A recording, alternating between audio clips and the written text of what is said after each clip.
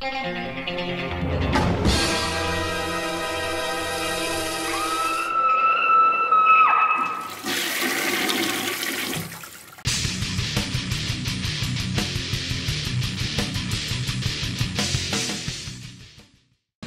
up? Thralls of Metal here once again. I'm Necrotic Nick, and I have an album review for you.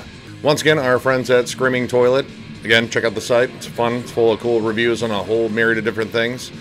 Hooked us up with another album to review. So this time I'm reviewing Asphalt Graves' album, The New Primitive. This band, formed in 2015, from Richmond, Virginia, and they're a bit of a supergroup. This band features Jason Netherton of Misery Index and formerly of Dying Fetus, and he's only on vocals on this, which I thought was pretty interesting, not playing bass. Uh, the bassist is from another band called War Torn, which I'm not necessarily familiar with. On drums, we have Shannon Lucas, formerly of Black Dahlia Murder and All That Remains. And on guitars, we have Brent Purgason, or also known as Pustulus Maximus in Gwar, and he's also a former member of Cannabis Corpse. So this band has a pretty interesting pedigree right away. Now it's important to note that this is a reissue. This album originally came out in 2016 on Vitriol Records.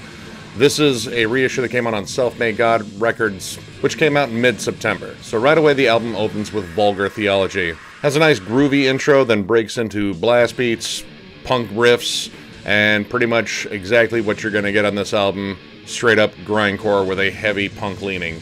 Now, there are some death grind moments on here, but they're used very sparingly. Most of this album is very straightforward grindcore. But the first three tracks you really get with this band is about fiercely socio-political lyrics and themes, and just straightforward, pretty much napalm death worship. So right away, the song "Who Do You Serve" instantly reminded me of Napalm Death, circa Utopia Banished.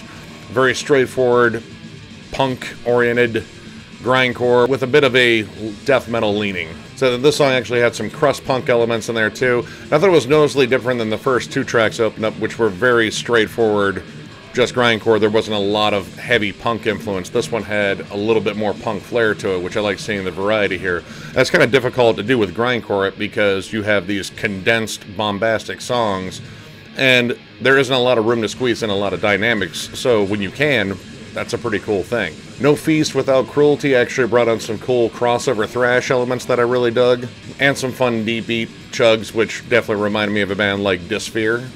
So, again, this band kind of ebbs back and forth between grindcore and crust punk for the most part, but they have some death metal influence on here as well. The song Angst and Praise actually opens up with a riff that I would say was very close to a Morbid Angel riff, but it kind of interworks into a kind of a grindcore riff later. Really interesting interplay on this. Now, an issue that came across on this album for me, though, was the groovier sections don't tend to have the same impact as the full bore grindcore sections. They kind of miss a little bit of impact on the riffs, and the guitars are a little thin in the mix. Now, overall, the production is pretty good, especially if you like raw grindcore. I thought this was kind of an interesting break for Shannon Lucas, especially because he doesn't sound as well produced on this, and that's not necessarily a bad thing. His drum sound is very raw and actually reminds me a lot of what grindcore should sound like. It should sound very raw, nasty, and in your face.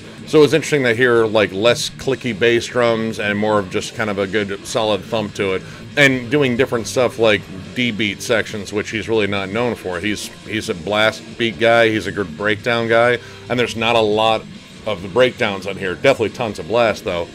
I just thought it was a really interesting thing in the mix, especially for him.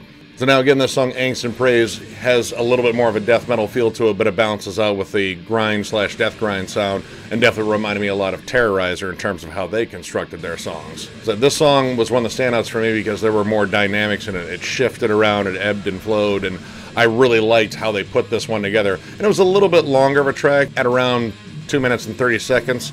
Most of these songs only range about a minute and a half. This one brought forth a lot of memorable riffs on it, and I think is one of the standouts on the album for sure. So now on this album, you also get two covers. They covered Disrupt's Mass Graves, which I'm a huge fan of Disrupt. I love their overall sound. They did a solid cover on this, and honestly, I'm kind of a fan of Jason Netherton's vocals on this rather than the original he does a great job on this, and it was interesting just hearing him just as the vocalist because he's usually playing bass too. And he's always had a solid growl. It's kind of a good balance between death metal and hardcore, and just a solid delivery and awesome cadences. Now, the title track I thought was really interesting. It's one of the few over three minutes. It opens up straightforward grindcore, then moves into a groovier section, which I thought was okay. Again, the groovier sections aren't the strongest parts of this, but then it actually takes on some blackened feel to it. There's definitely like a blackened hardcore feel to this.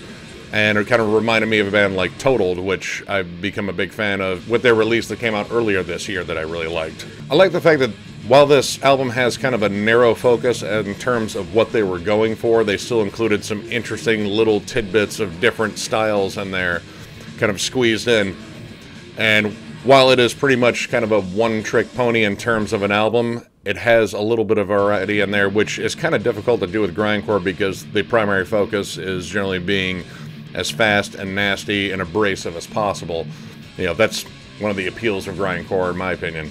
Now, what I think is one of the most interesting standouts on this album is Exit from Reality. It is the longest track on here, and it opens up unlike any other song on this album.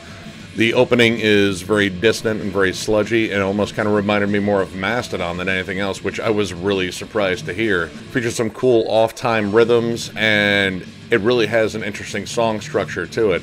They kind of worked outside of their main wheelhouse of grindcore in this one, and crafted one that had grindcore elements, but a lot of cool sludgier elements and some distinct melodies on here. I was really surprised at that. I like how it transitioned from the more sludgy melodic moments into the grindcore moments and still kept a lot of the melody intact on there. I thought that was really cool how they did that. And the other cover on here, which I thought was really cool, was they covered Nasum's Time to Act, which I am a huge Nasum fan. I know Misery Index has covered Nasum before, so it was really cool hearing Netherton go back and do that again because I love Nasum and they should be covered more. They were an incredible grindcore band and they were gone way too soon.